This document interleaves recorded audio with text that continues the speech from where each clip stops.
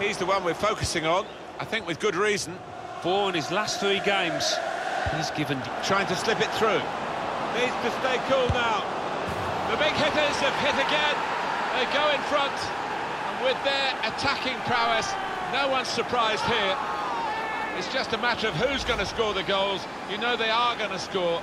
And they've got so many different ways of breaking down the opposition. They're even in a stronger position now. They're on the verge of winning the league title today. Yeah, and you've got to admire the way they've approached this match. They've come out, they've been positive, they've taken the game